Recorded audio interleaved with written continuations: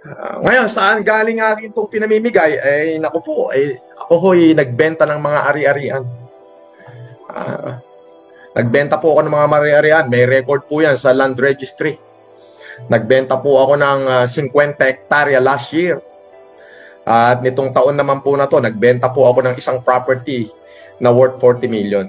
Uh, binayaran ko lahat ng capital gain tax dyan. Bayad po, kaya malinis po yung aking pera siya naman pong inuubos ko ngayon at pinamimigay. At ako po nananalo rin minsan sa sugal dahil malakas po akong mag-poker. Pero at the end of the day, yung puso ko po is para sa taong bayan. Huwag po kayo mag-isip na ako po yung namumulitika. So, yun, i-verify nyo po last year, nagbenta po ako ng 50 hectares almost ng aking lupain along the highway po yun ha.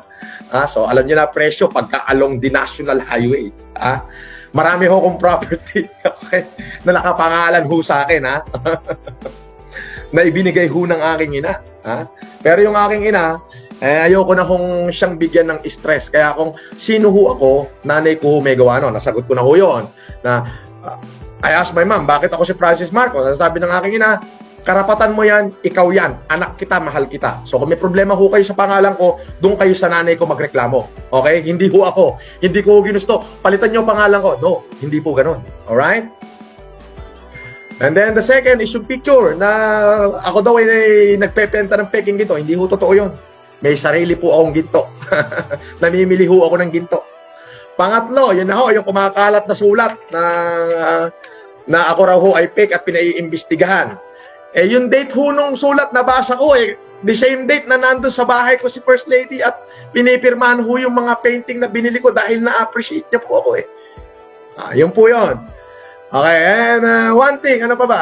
Yun nga, yung ako daw ay front ng Chinese Mafia na si Bernard Chong. Hindi po.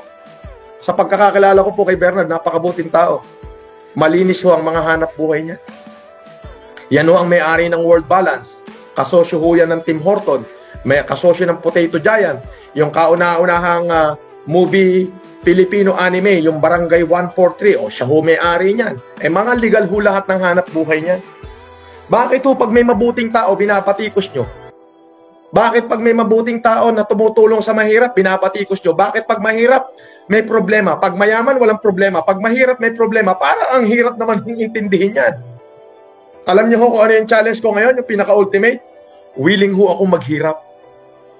Sa sobrang dami ho ng taong tinulungan ko, milyong-milyong Pilipino, yan, kaya ko hong patunayan yan. Buong Katanduanes sa Bicol, ako ho nagbigay ng Optimum Eye Care Program noong 2016 kay Governor Buboy Kuwa. Totoo po yan.